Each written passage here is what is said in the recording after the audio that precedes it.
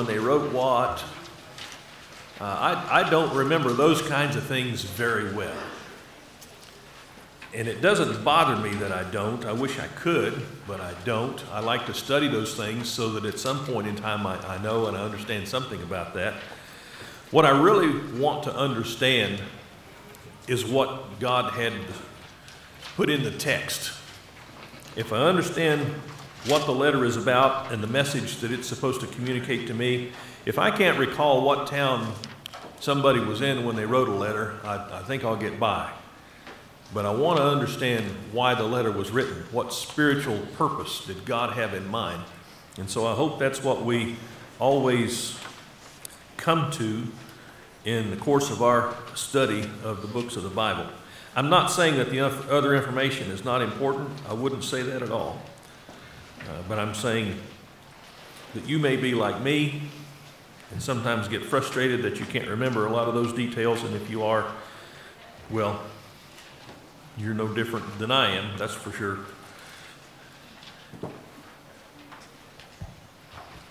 All right, everybody got a worksheet we're ready to go. What we want to do at the beginning of this worksheet and beginning of this class is kind of go back and get the uh, get the feel for First Corinthians, which, as you may recall, is actually the second letter that Paul wrote to the church at Corinth. But there are only two that we have, and so First Corinthians is, uh, is what we're looking at right now to get the stage set for our study of Second Corinthians. Those little funny looking two tone arrows, by 110, Paul is addressing the problem of division. You remember that? Some saying, I am of Paul, I am of Apollos, I am of Cephas. Who was Cephas, by the way? Peter, the Apostle Peter, that was Cephas. He was known by a, a couple of different names. So in chapter 1, and verse 10, usually it seems like you're still in the greeting and the, and the, praise phase and stage and all that. Do we have enough worksheets? Are there any left? Uh, are these extras? Here's some on the front. Mike, if you want to grab one of those. Right, there you go. Jake's got them. And if you'll see if anybody else needs one who's come in. Glad to have everybody this morning. We might have to go make some more.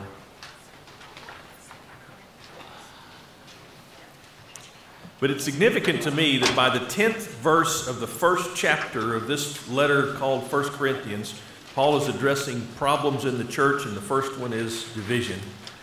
And then in chapter 3, verse 1, by the way, in chapter 2, he's, he's sort of shoring up his authority as an apostle, which tells me there were other problems in Corinth, that they had doubts about his authority, his apostleship. There was somebody um, chipping away at his reputation and his credentials, which is always uh, an issue. But by the time we get to chapter 3, he says that there are things he can't address because they are carnally minded. Keep that in mind about the church at Corinth. They're carnally minded, fleshly minded. Johnny, are you going to make some more? You... Okay. Are you authorized to do that? You can, you can get into the office with clearance? Okay, good. Chapter 4, Paul's authorities question and he sets them straight. Chapter 5, verse 1, they've got an issue of immorality. You remember how he described that immorality? Said, This is something the Gentiles don't even do. Whew, that's pretty bad. But they had that going on in the church, and he said they were even proud about it. And so he told them, You need to withdraw from this member who is committing immorality this way and staying in your fellowship, you need to withdraw fellowship from him. Chapter 6, verse 1, he's talking about disputes and lawsuits between brethren. He's condemning them for that and trying to get them straightened out. says, even be willing to suffer fraud so that the Lord's church is not brought before the public courts and our dirty, dirty laundry aired out there, so to speak. Chapter 8, verse 1, the church is admonished for practicing arrogant carelessness towards weaker brethren some who are uh, smart, I don't want to say smart enough, but who know enough, who are aware enough, are taking liberties that are causing other church members to fall. In this case, specifically, eating meat that's been offered to idols. And it, it, this wasn't a case of them going up to an idolatrous temple and grabbing a hunk of meat off the altar. What would happen was animals would be sacrificed in various temples, and then those same animal carcasses would be taken down to the, to the shop, to the shambles, as it's put in the King James, and hung up for sale. You go down there and you, oh, let me, I'll buy that goat there. And somebody else says, oh, don't you know that was sacrificed in a temple? Oh, okay, well, then I, I won't eat it because you might stumble if I eat this meat that's been sacrificed to the idol. Uh, actually, it's, what is it? It's a goat. It's just meat. You've got a right to eat it, but should you eat it? And that's what he's addressing. You're saying, well, I've got a right to eat this, and so I'm going to eat it. I don't care how it affects you spiritually. Those are the kinds of issues that were existing in the church in Corinth. People were arrogant towards each other. They didn't care what was going on with their brother. He even said in chapter 11, when you take the Lord's Supper, you don't even care about each other. They didn't have a nice communion set like we do with a bunch of cups and unleavened bread and a refrigerator back in the fellowship room. They, they brought their own stuff when they came. And some of them brought more than others, and they sat down and had a meal with theirs, and somebody else who was not very uh, affluent might not have anything at all. And so he says, You got a bunch over here, a little clique that's eating to their heart's content, and they're, he used the word drunk. You're, you're, drinking so much, you're getting drunk. That was, I think that's an expression of uh, what am I looking for here? He was exaggerating. Nevertheless, that was the difference that they had, even when they took the Lord's Supper. Is there any time when we ought to be more spiritual and, and Christ minded towards each other than when we observe the Lord's Supper? Seems to me that, that that ought to be the peak of the week right there. But that's how they were doing it.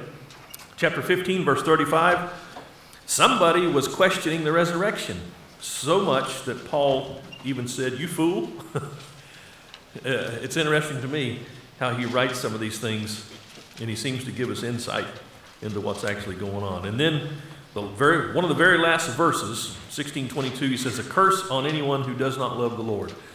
First Corinthians was a hard letter.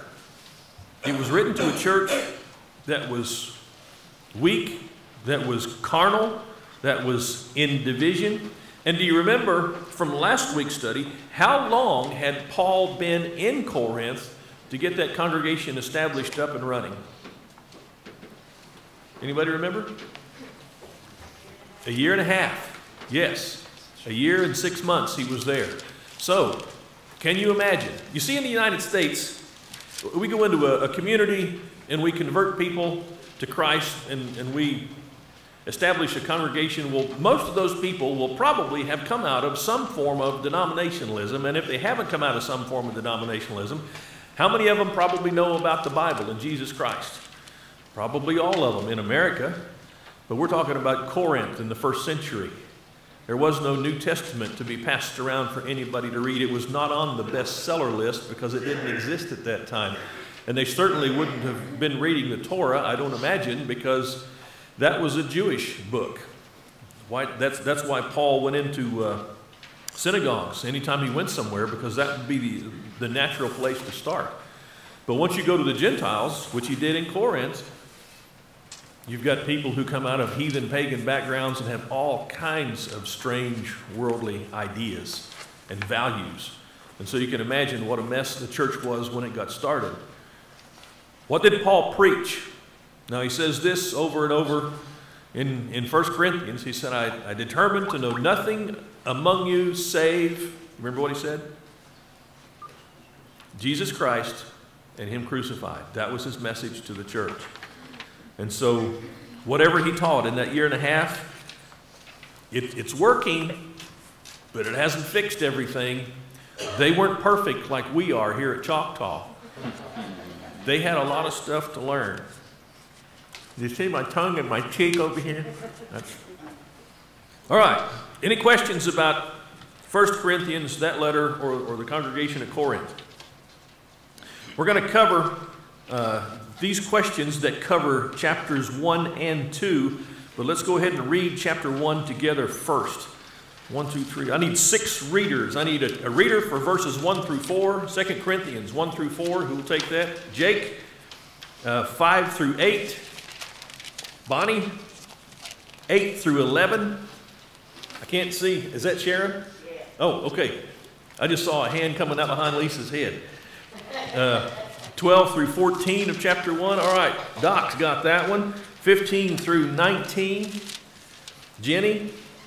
And 20 through 24. Last section of chapter 1. We'll do the same thing for chapter 2 when we get down there. Who's got the last uh, 20 through 24? Okay, Jim. Let's read 2 Corinthians chapter 1 together, and then we will go over the questions.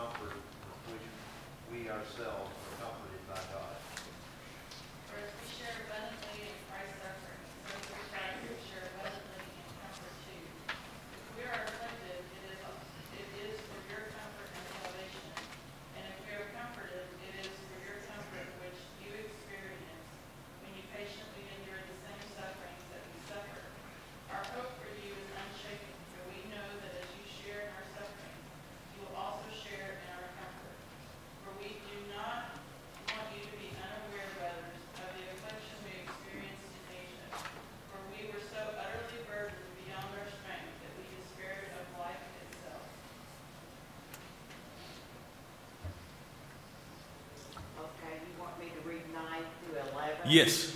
Thank you, Sharon.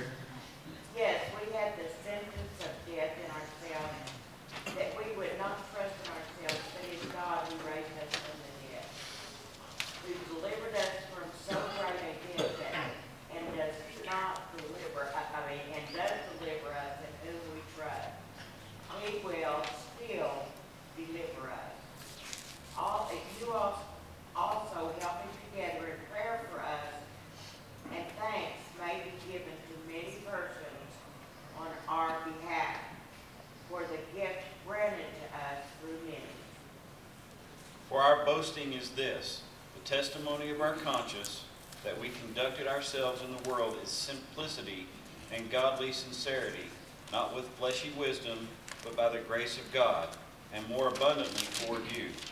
For we are not writing any other things to you than what you read or understand. Now I trust you will understand even to the end, as also you have understood us in part that we are your boast as you also are ours in the day of the Lord Jesus. And this confidence I intended at first to come to you so that you might Christ through a blessing, that is, to pass your way into Macedonia, and again from Macedonia to come to you, and by you to be helped on my journey to Judea. Therefore, I was not facilitating when I intended to do this, I? Or what I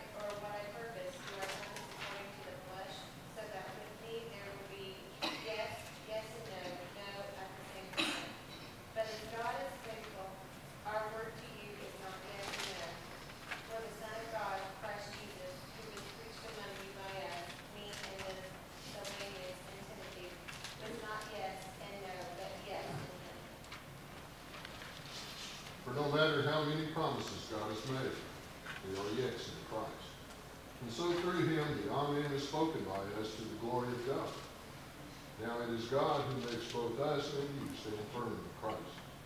He anointed us, set his seal of ownership on us, and put his spirit in our hearts as a deposit, guaranteeing what is to come.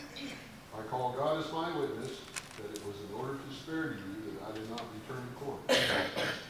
Not that we lord it over your faith, but we work with you for your joy, because it, it is by faith you stand firm. Thank you, readers. Paul begins the letter affirming that blank is with him as he writes. Verse 1 Who's he say is with him? Timothy. Timothy. God's with him, yes, but Timothy's the one I wanted to point out here. Now, okay, that's a fact. What's the relevance of that? When I read 1st and 2nd Timothy, I, I try to imagine All right, Paul's writing to Timothy about his work as a young preacher. What congregations is Timothy working with? Con- the congregation at Corinth is one of those congregations.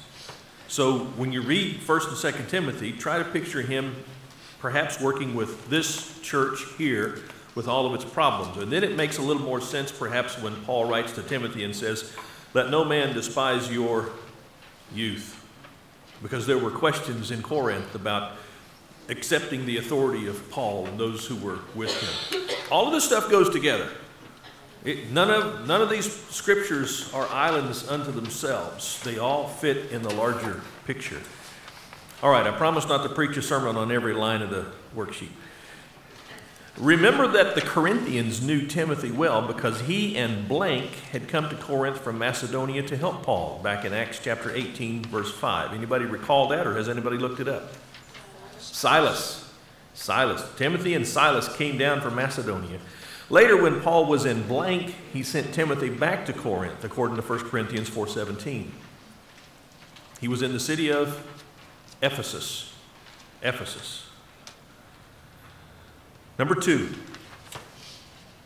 In your estimation, why might the Holy Spirit inspire Paul to immediately begin writing about God as the Father of blank and the God of all blank? What would go in the first line? Mercies, Father of mercies, and God of all comfort. Okay, a quote out of the text. Now, I worded the first part of it so that you can't get it wrong. Because I asked, in your estimation, which means if you provide your estimation, okay, that's, that's your estimation. I can't say that that's wrong because because you're the only one who knows what your estimation is of the situation. But in your estimation, why might the Holy Spirit inspire Paul to immediately begin writing about God as the Father of mercies and God of all comfort? Is there any connection with the previous letter? that God can be forgiving. Okay, God can be forgiving. What would he need to be forgiving about? How would that comfort the church at Corinth? of things that they have been doing that are sexually immoral. Okay, you guys are messed up. You, if you repent, if you respond properly to the teachings and you repent, you're probably going to be feeling pretty upset. When you discover that you've done something wrong, don't you feel bad? If you don't, you need to worry about yourself. You should feel bad. There's a reason why God built guilt into circumstances in life. It's not to punish us, it's to help us not to go the wrong direction. And they likely had a lot of guilt and specifically, as Sharon mentioned, I believe over this one person from whom they withdrew fellowship.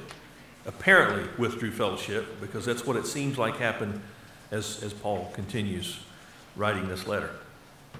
All right, the, the last part of number two. What does Paul say is the purpose of being comforted in their affliction? That's right. If you're comforted, you can comfort others. But specifically, here's what he says. Because I, I, don't, I don't think this is insignificant when he says it this way. And sometimes I wonder if, if God's listening to our Bible classes and, and hears me say things, and he's, oh, Marty, no, but it's okay. They'll figure it out. They'll realize you were off. But maybe I'm not off on this. But here's, here's what I'm pointing out. Uh, verse 4 Who comforts us all in all our affliction, so that we will be able to comfort those who are in any affliction with the comfort with which we ourselves are comforted by God. That seems to me, he's coming down pretty hard on. We're going to comfort others, not just in a general way, but we're going to comfort others who need comforting with the same comfort, the same comfort that we were comforted with. In other words, however God is expressing his love to us and showing us comfort, that's what we're going to pass on to others. Not just a general, oh, it, it's going to be okay, it'll be all right. No, give them something specific like God does us. Do you have any go to passages when you hurt or when you're worried or when you're anxious, when life gets uncomfortable, are there any passages of Scripture that give you hope and give you encouragement? I, I would like, this is what I would like to ask that question and everybody go, oh, yeah, yeah, me, let me, let me. Because I'd, I'd like for that to be a situation in everyone's life where I'm feeding on the word so much that I know exactly where to go when I'm hurting over this or over that. And we should realize that God wrote the scriptures for us that way. Paul's not just talking about some comfort that took place 2,000 years ago. He's writing to us about comfort that God provides and makes available on a daily basis, on a regular basis. If you haven't found it in the scriptures, keep looking, keep digging. Talk to me, talk to Dayton, talk to any of our elders about this, and, and we'll see if we can help you find some of those passages that you'll write down and put on your bathroom mirror or on your refrigerator or tape to your steering wheel, as long as it doesn't interfere with your driving. Dayton? There are actually two different Greek words here that are used translated comfort. And one of them means to beg and to encourage is another meaning of it. It means also to strengthen and it means to call on, be near. And it means, uh, to summon, call to one side. It means to refresh and cheer. And there's so many different areas of our living where some of this might be improved by our closeness with God. Right. And then the word affliction is yet another word, and that means basically pressure, oppression. And it can also mean distress, strain. Uh, so you just see different things happening to us, and yet these terms, uh, we find a solution for all of it in our relationship with God and with one another. Right. Uh, here's, let's just illustrate this a little bit, and, and you're in charge of your own illustration. Whatever position you have being seated, of course, you can use your arms and everything to manipulate your, your Bible and, and your worksheet and all that, but just let your fanny sit there until it goes numb. How, we don't think about this, but how often do we change our position when we're sitting? Change it a lot because you, oh, I'm not comfortable this way, and so you, you just shift a little. And it might just be a, a subtle movement of one leg, or you might cross a leg or uncross a leg. But I'll tell you this if you sit the way you're sitting right now, no matter how comfortable you are at the moment, it won't be long before you go, you know, I'm not comfortable anymore. And when you feel that, when you understand that, what do you do? You make a change. You make a change to become comfortable. It's the same thing spiritually and emotionally. If you're not comfortable spiritually or emotionally, there's a reason and there's a way out of it. We can, we can search the scriptures. We can find out what God has said to encourage us. That's one of the words Dayton used in his definition of the Greek word. We can find ways to give ourselves the peace that God has provided. It's there. What do you, what, idea of being refreshed uh, even. yes, Remember, Paul in prison to try to rejoice.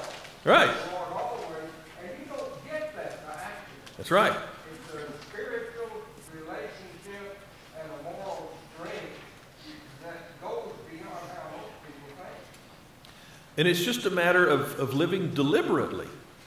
He, he chose to put his faith in Christ and to find the reasons to live with, with faith and hope. When you go stand in front of the pantry or stand in front of the refrigerator, you just open up the door, what are you looking for? Chocolate. Yes, you might have a specific in mind. Or you may not even know exactly what you're looking for, but you're looking for something because you, you, you want something, and you may not even know what it is, but you're looking. Imagine being in the, the biggest, most well stocked grocery store in the world. You're going to find whatever you need to satisfy whatever hunger you've got. That's what happens when you open the Bible. You're going to find something there to help you spiritually, emotionally, mentally. It's in there. Just keep looking. If it's, if it's spiritual chocolate, God made those cocoa beans, did He not? Yeah. He wants us to enjoy everything He created, especially His Word. All right, number three. Man, we're just racing right through these, aren't we? What two things does Paul say are ours in abundance?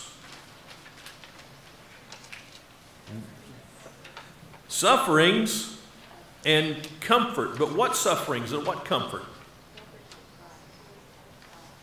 Suffering, what does that mean? We've got the sufferings of Christ in abundance. How do you suffer the sufferings of Christ?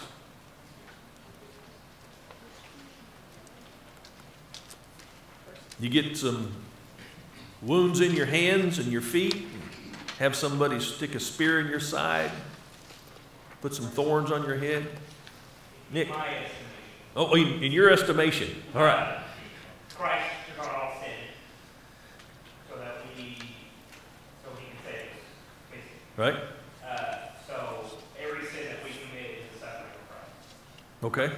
So, in my estimation, that our sufferings are our sins, just as Christ suffered to take on all sin. Okay. Now you're addressing our own mental anguish over our own sin. Is that right? Uh, I mean, we, we just spoke verse two before about the guilt that God created. Right. So I would assume that works in his head, take that in context. Right. Or that's what it is, so. Okay.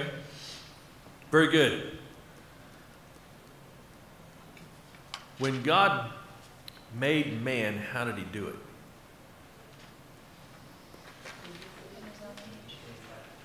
He, he took a handful of dirt, that's what he started with, and he formed the body, the flesh. And then he breathed into that life, or breathed into that flesh the breath of life, and man became a, a living soul. So, on one hand, we are people of flesh, and that flesh is of the earth, and that flesh desires the things of the earth. But on the other hand, we are of the Spirit from God, and that Spirit desires God. And our lives are constant struggles to control the flesh as it should be controlled and to have a relationship with God. And the flesh is constantly interfering with that. The flesh doesn't mean to interfere, it's just the flesh. It's, it's like a two year old. Mommy, mommy, mommy, mommy, mommy, mommy. The two year old doesn't get up in the morning and say, I'm going to keep mom from getting anything done today. It's just a two year old. And we might think sometimes there's evil intent there. No, there's not. It's just a two year old. Your flesh is just your flesh, and you're always going to have your flesh until you die. Christ came, he never gave in to the lusts of his flesh, whatever they were. He always controlled the flesh. I'm not saying he didn't enjoy life. What aspects of life did he enjoy? Here's what Jesus enjoyed. And I can tell you this from from reading the gospel. He enjoyed every godly aspect of life. That's what Jesus did. He enjoyed every godly aspect of life. And tell me there's not a lot of godly aspects of life to enjoy. But he never gave in to the flesh. But he struggled. After he had fasted for 40 days and 40 nights, I like the way Matthew puts it. I always come back to this. He was hungry. It's like, duh, come on, you really got to tell us that. But the Spirit inspired him to say it. So, yeah, I need to hear it. He was hungry. You think Jesus wanted bread when Satan said, hey, turn these stones to bread? If he didn't want bread, then it wasn't a temptation. When he took him up on the pinnacle of the temple and he said, Cast yourself down. If he didn't want to do that, to try that out, to see if the angels would bear him up, then it wasn't a temptation. Jesus wanted to do that. He struggled against the flesh. When Satan showed him all the kingdoms of the world and says, Man, you can have all this if you just worship me. If Jesus didn't want to do that, if there wasn't some part of his flesh that wanted that, then it was not a temptation for him. But it was a temptation. But he fought that temptation. And the sufferings of Christ are resisting all the things of this world that are going to pass away, and embracing all the things of heaven that we cannot see with our eyes, or hear with our ears, or touch with our hands. What is the comfort in that? Or is there any comfort in that? Or do you, do you disagree? Do you think, ah, that's not what Paul's talking about? Is there any comfort in Christ?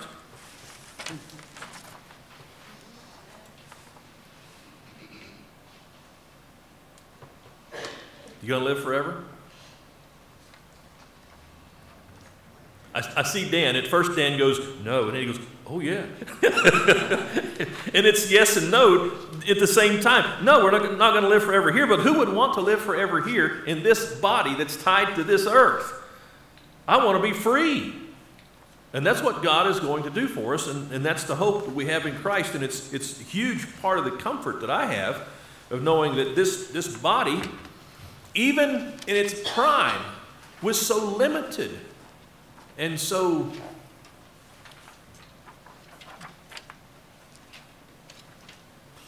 what's the word? Well, think of yourself at your prime. Could you fly? Just jump up and fly. How much could you lift?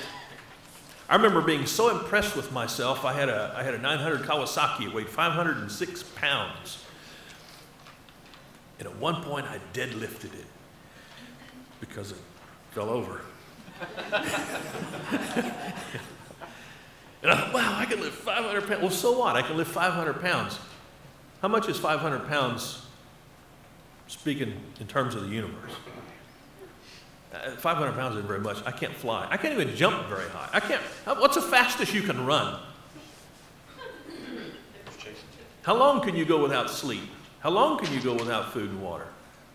We are so limited by these bodies. And how did I get off on this? Except that this is a struggle of the Corinthian church. They were carnal, fleshly minded, and the flesh is not going to make it.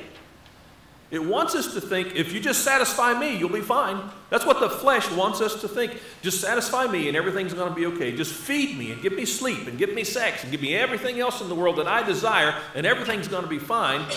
And our spirit is saying, I, no, hmm, that's not going to work. That's the way they were at Corinth.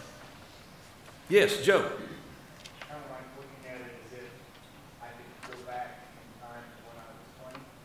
Kind Yes. And if you knew everything that you knew now, how could you relate to anybody who was 20 when you go back? That's, that's what, you know, I used to think that, boy, when I get old, if I could just come back and be, no. I don't want, nothing against 20 year olds. But, man, I'm, I'm beyond that now. I hope. All right. Uh, where are we here? Number four, how would you put the message of 1, verses 6 and 7 succinctly? See, that's why I talked all that time, so you'd have time to think about this next one. Uh, how would you put the message of chapter 1, verses 6 through 7 succinctly? How would you boil it down? If we are afflicted, it's for your comfort and salvation, or if we're comforted, it's for your comfort, which is effective in the patient enduring of the same sufferings which we also suffer. And our hope is for you in this is or rather our hope for you is firmly grounded knowing that as you are sharers of our sufferings, so also you are sharers of our comfort. What's that mean? I'm so comforted myself by the fact that when Peter wrote, he talked about Paul's writings and he said, in which there are some things hard to be understood. Oh, thank you, Holy Spirit, for inspiring Peter to say that about what you told Paul to write, because I don't understand everything that Paul wrote. And sometimes when I think I've got it, but I'll, I'll tell you this in trying to understand what Paul wrote, I've never misunderstood anything Paul wrote in a way that led me in the ways of the world. Does that make sense? Yes. Well, what I get out of it is that by their suffering, I, I achieve I get comfort knowing that they already went through that for me. Okay? And that, um, when, and I'm, and I, I feel good when I know somebody that I care about is doing better, it makes me feel better. All right. There's a, a relationship that we have that ties us all together. Just like when you, when you hear bad news, something that's happened to somebody, you go, oh yeah, I didn't like them. I'm glad that happened to them. Nobody does that unless you're sick in the head. When you hear bad news, something happened to somebody, you go, oh, that's horrible. I feel bad. Even though I know they might have deserved it, I still feel bad. Whatever thoughts you might have. Nobody wants to have evil, ugly thoughts about another person. And so when we have, when, when Paul recognizes you're, you're suffering, I wrote you a letter and I lambasted you guys, and you deserve that lambasting. You were doing a lot of stuff wrong. I've been there for a year and a half trying to get you spiritual, and, and you're still carnal. And you got a guy living in sin, sleeping with his father's wife, and you, you're proud of that. By the time they got finished with that letter, all the saints in Corinth were probably going, Oh man, I didn't realize we were such horrible people.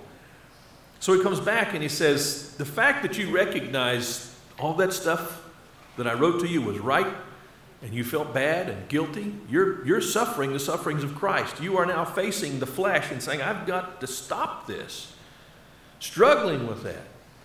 I'm comforted that you feel bad about it and repent.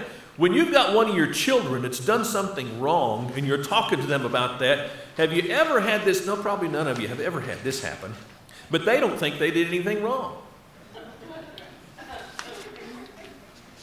That, to me, was one of the biggest frustrations. How can I get them to see? And when I finally did get them to see,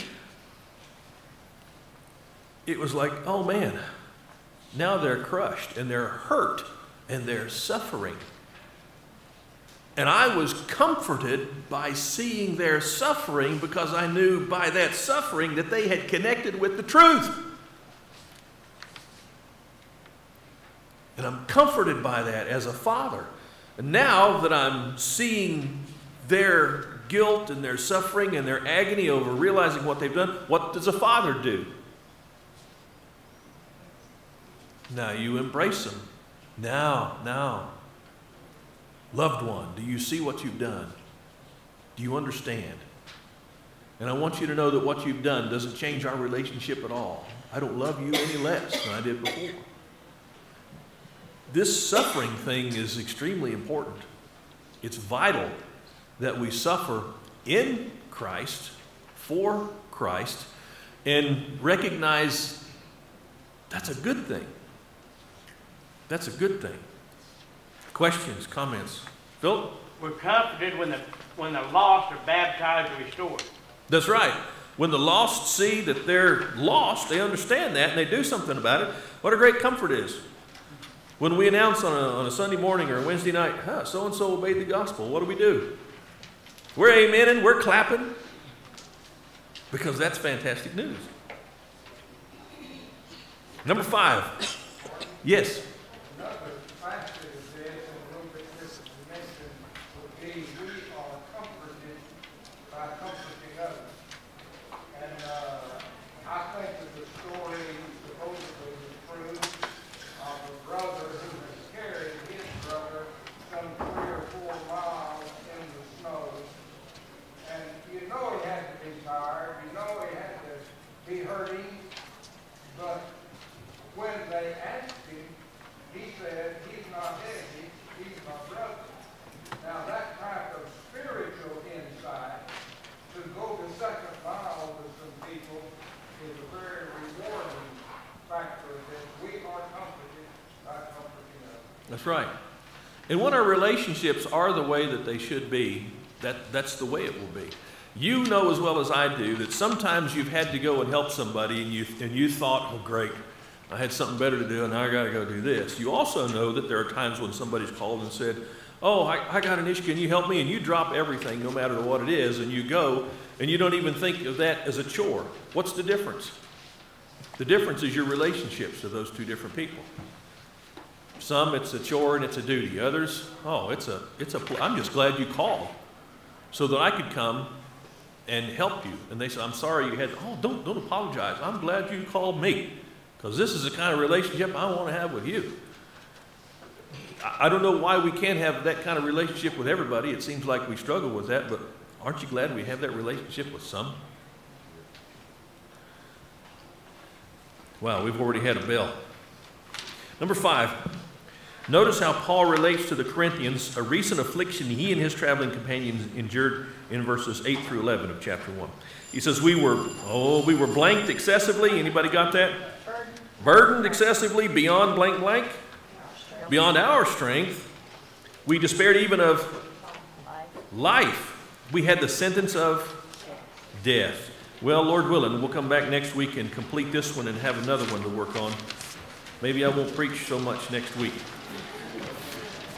Thank you.